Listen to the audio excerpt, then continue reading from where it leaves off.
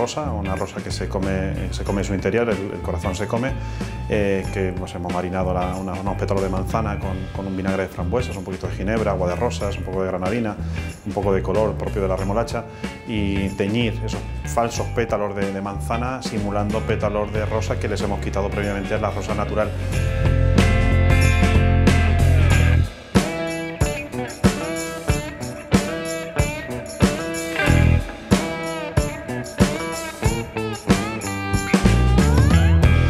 Que verme la, película y digo, Dios mío, ¿ahora qué, hará, qué hago no? Eh, ahora? Pero, la verdad es que una experiencia súper chula y única, ¿no? Que, dices, no todos los días se fusiona gastronomía y cine.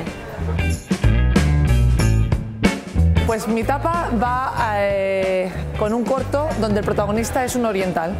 Entonces he traído un pan bao, que es un pan hecho al vapor, taiwanés, que va relleno con rabo de toro, una salsa de kimchi y unos ingredientes un poco orientales.